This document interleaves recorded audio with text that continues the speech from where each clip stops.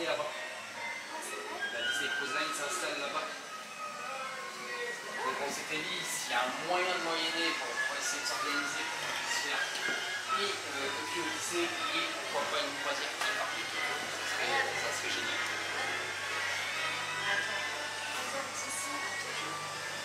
En fait, il y a une, non, non, il y a une croisière qui partirait de Tokyo pour faire un peu tout ce qui est euh, Tokyo, ça, de mémoire je crois qu'il ferait Tokyo, parti mais dans le sud de sud d'Indonésie et tout ça, et après ça remontait sur